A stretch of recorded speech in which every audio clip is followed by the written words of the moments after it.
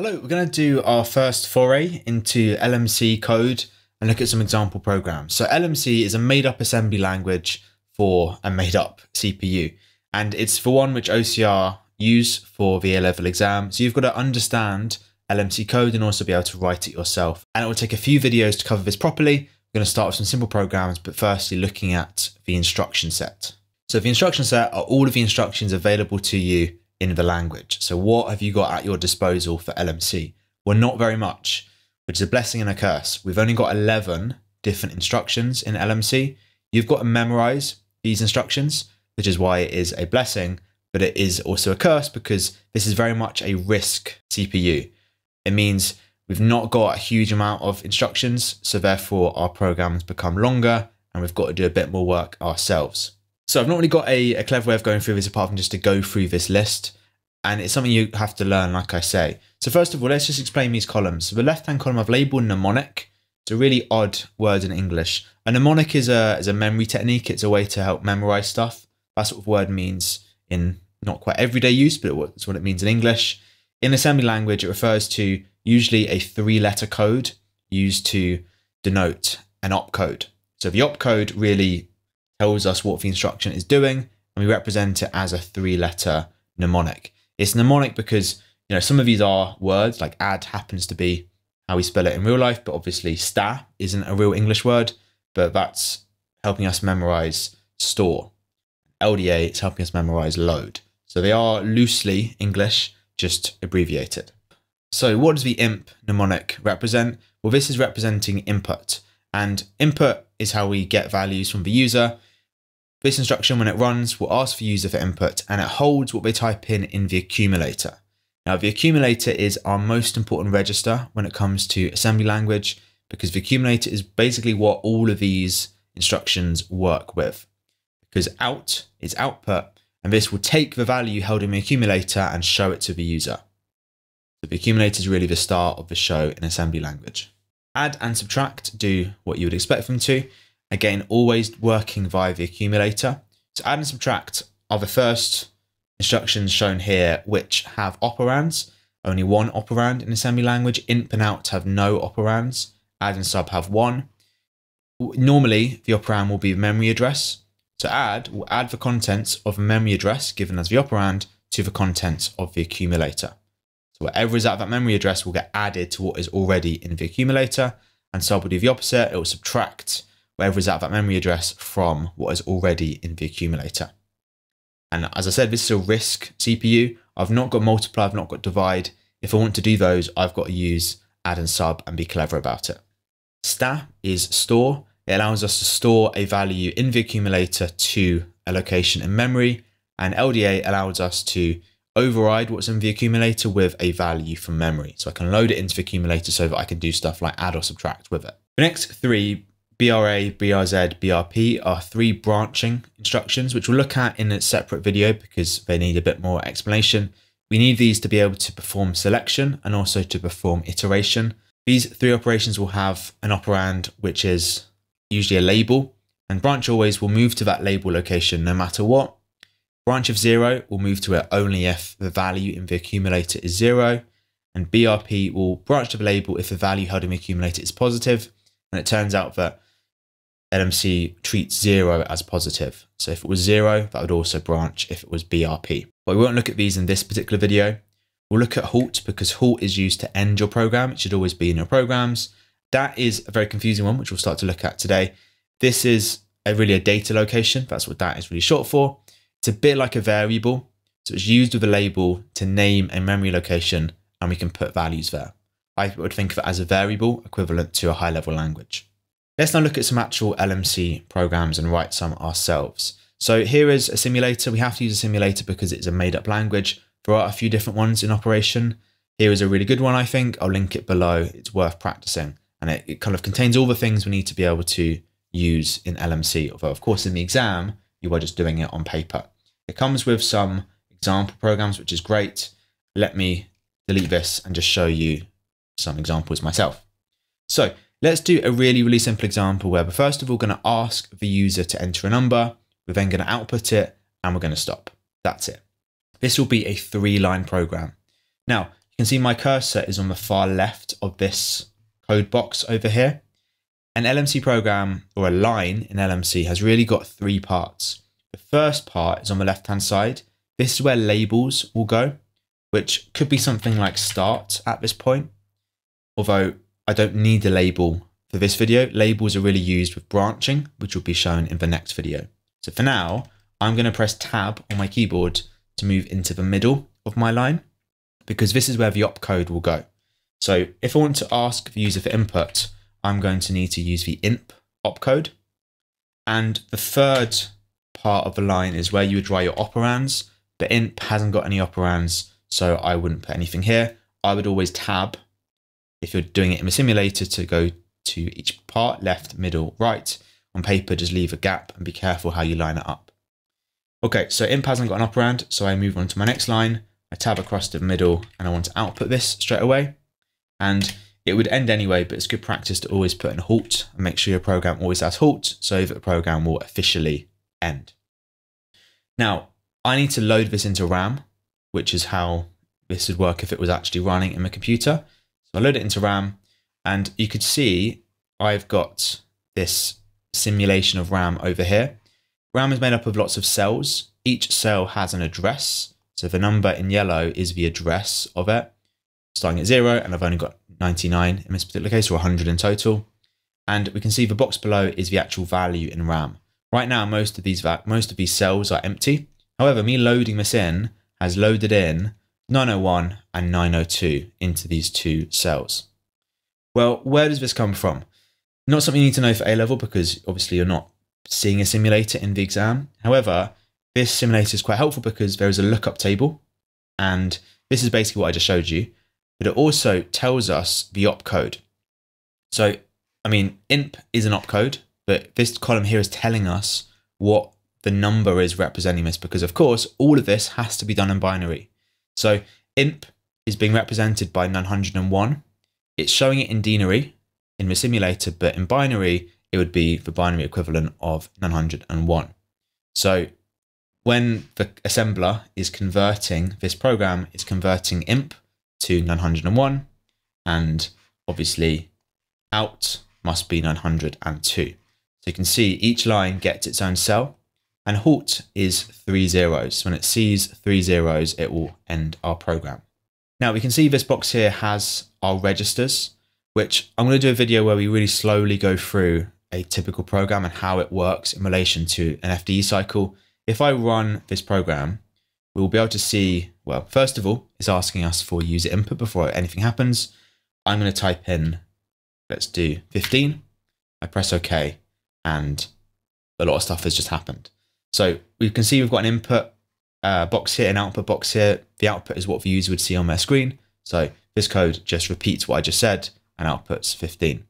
Now we got a, a kind of feed on the right hand side, which breaks down what is happening in the FDE cycle as we go through this simple program. So we won't necessarily look at this in detail now because I think getting bogged down in this initially can can make it more confusing, but we'll come back to what exactly is happening at this point. But what I will say is, if we kind of reset this and load it back into RAM, initially our PC is set to zero. We know that our PC, our program counter, points towards the next instruction to be executed. Well, that makes sense, right? Because the next one to execute is 901, which is INP. That's our first line. And when I run it, we'll look at the accumulator, our kind of most important one. If I do 12 this time, we can see the final value of the accumulator is 12 because INP is loading 12 into the accumulator. Out is then outputting the contents of the accumulator, which is 12. Okay, let's have a look at an example of how I might say add 10 to the user's input so that if I typed in 12, I would see 22. Well, it might be very tempting to just do something like add, and then I need an operand for the add instruction. So I want to do tab on my keyboard. It's very tempting to do something like add 10 and something like that. And the hope would be that's adding 10 to the accumulator. But if I load it into RAM, you can now see cell one, our second line, has now got 110. Well, why is it 110? Well, if you look in uh, the lookup table, the add opcode starts with 1 in denary, then it has XX representing a memory location. And The reason why it's 110 is because that 10 is actually this. So we're not actually adding 10 to the accumulator. This is an address 10. And if we look at address 10, fortunately nothing is in here, therefore nothing is going to work. Well, I mean, it's going to work, but it's not going to do what I want. If I type in 12, I still get 12 outputted because it's actually adding zero. So operands in most cases are memory addresses. It's adding the contents of address 10, which happens to be zero. So what I need to do for now is use the effective equivalent of a variable, and this is dat. Now, dat lines always have to go at the bottom, so they need to be on their own at the bottom, and I'll explain why at some point in the future. So I might want to do something like num tab dat and another tab 10. So this is like in Python doing something like num is equal to 10. Num is a label. It's a word I've chosen, which really represents a memory location. So really it's associating the value 10 with num. The operand for dat is not an address, it's actually the value itself. So what this means is I can replace the 10 here, which is an address, with num now, and it will associate num with the value 10. So it will actually add the value 10 when I run this instruction. Let's just show that before we, we unpick what's going on. I run it, I type in 12. This time it does give me 22 because it is actually adding 10 to it before outputting. And this is immediately very different to a high level language because in a high level language, I can't refer to something like a variable before I have assigned it a value. But here it's able to do that. And it's because when I load it into RAM, it's already populating what it needs to populate. You can see line two is 14 now. Well, why is it 14? Well, the one is representing the add opcode and the four is representing the address. So without me doing it myself, it has assigned num to represent address 4. So address 4 is effectively what num is referring to. I use num because it's easier for me as a programmer. 4 is the equivalent of num essentially. And you can see in location 4 it has assigned or put in the value 10. If I change it to 15 and load it in again, we get 15 put in address 4.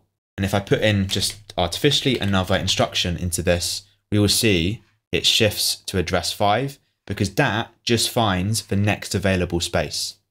That is partly why we have to make sure DATs always go at the end so that it always has space and it doesn't overwrite anything. You should, as a habit, always put DATs right at the end. It won't affect the execution. Let's do another example from scratch where I want to ask the user to enter two numbers. I then want to add the two numbers together and output the result. Well, I'm going to start with an input line. Again, the opcode goes in the middle of my line. And I could I could be tempted to put in another input line back to back. You know, in Python, if you were asking for two numbers, it's fine to put them back to back like that because they'd be with variables. However, because the accumulator is where we're storing the inputs, this is just overwriting the input of my first input. What I need to do is save one of these inputs to memory so that I can then add it to the second input. Well, how do I save stuff to memory? Well, I need to use a STA opcode store. This has an operand. This operand can either be an address. I can tell it to store it at address. Let's just do address 9, just as an example. And if we were to see this, let me just halt it to do this properly. If I load it in now, I run it, I type in 44. It will save 44 at address 9 because I told it to do it at address 9. Obviously, there's a slight risk that there's already something at address 9. If it was a real program, that's quite a dangerous thing to do. Just pick a random number and put a value there. You might override some other program if the OS isn't managing it properly. So what we should probably be doing is using dat again. So let's do something like num1 dat. And then this time around, I don't actually need an operand because I don't know what that value is going to be yet. Dat doesn't always need to have an operand because I can use store to actually give it the value afterwards. And again, that's very different to Python because in Python, you can't go something like num1 equals, I don't know yet. You can in assembly code. So I don't need to put an operand here because what I can do is use store command and store the input as num1. This time round, that will just allocate us the next available free space. So there's no risk of me overwriting somebody else's value. So if I just load it in now as an example and run it, I type in 44 again. This time it's chosen location three for 44 because it was the next available space, which is perfect. So what I can do now is ask the user for my second input because the value of my first input is safely stored in memory. And actually, I don't even need to repeat this process with num2 because all I need to do is add in the contents of the address of num1 to the contents of the accumulator. The accumulator is currently holding the value of my second input. Therefore, I just need to add in the value of my first input, then output the contents of the accumulator. I don't need to actually do this process again. So I need to use add. And this time I'm adding the contents of num1 to the accumulator that is effectively adding the two inputs together. Now I can output to see it in the proper output view. Okay, and that is my program. Let me load it into RAM. Let me run it. I type in 44. I can now type in 6, and we should get 50 outputted on screen. Let's, as a final example, look at how you might multiply the input by 3 well, there is no multiply command in LMC because it's a RISC CPU. So I've got to use add and use add multiple times to mimic a multiply instruction. And we could use a loop to do this, but we haven't looked at that yet. So let's just do this using multiple adds. Well, multiply by three is equivalent to adding three times. So let me try and modify this example to do that. Well, I don't need a second input because I just need one input here. I can add num1 to the contents of the accumulator, right at this point, my input is already in the accumulator. Me adding that value to itself again is doubling the number, so multiplying by two. And if I add in another line, I'm now adding the number to what is already in the accumulator. The accumulator already has the number times two in it. This is making the number times by three. I load it in RAM, I run it, Let's do 5. I get 15 outputted because it's multiplying by 3. So it shows you how what is very, very simple in a high level language is made a lot less concise in assembly code, but we've got this glorious control where I can do what I want in memory. It's not stopping me doing stuff like moving stuff around in registers. It's just quite different to high level language. Going to look at how we can perform selection and iteration in the next few videos.